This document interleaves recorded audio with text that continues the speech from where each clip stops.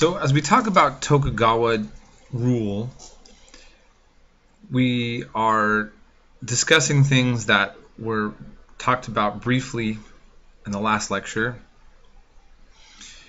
And what's most significant about this time period is to think about Japan unified under the rule uh, and um, its stability that's created um, by the Tokugawa ruler.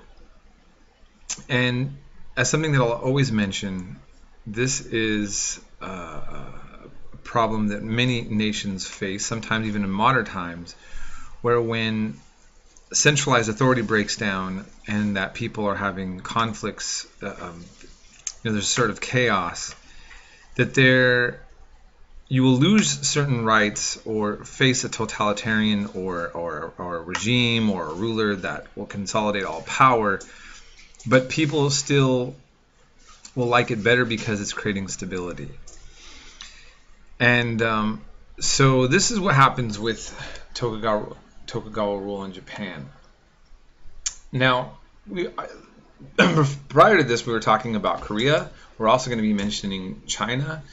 And again, the map always helps kind of explain why we would be talking about all three. If you look here, here Japan is an island. And of course, it reminds us of the way that they could also isolate themselves to a certain extent. Korea, as you see, mixes with Manchuria or China here.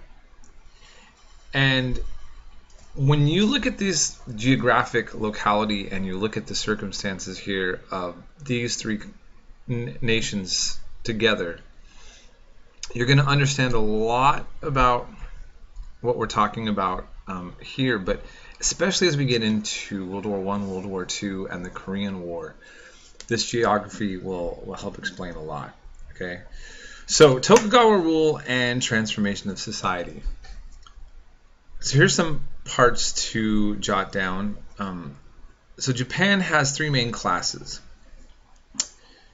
samurai, the peasantry, and urban dwellers uh, and they were transformed, especially in this period. Okay, and how this happened? Samurai became more civil servants than warriors. So before samurai were, you know, really tough because because first of all they were always fighting each other, and if you're fighting all the time, you obviously are um, a well-trained, tough fighter.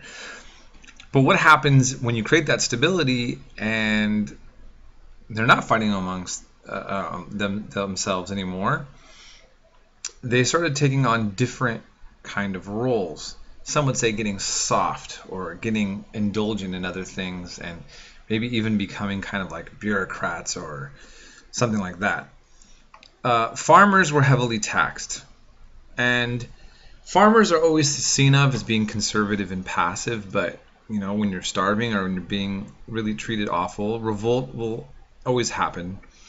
So occasionally um, the oppressed uh, peasant class would often revolt. Um, and then another result of the transformation of Tokugawa rule was trade in urban centers becoming more complex. So these are some of the like developments in Japan like from this time period. Okay, now um, pardon the explicitness of the pictures in this next one. I mainly just wanted to show this as, as I'm dealing with samurai sexuality and leisure. Uh, the samurai uh, obviously were a privileged class, and um, these pictures depict them having uh, excessive situation, sexual situations with females and among themselves as males.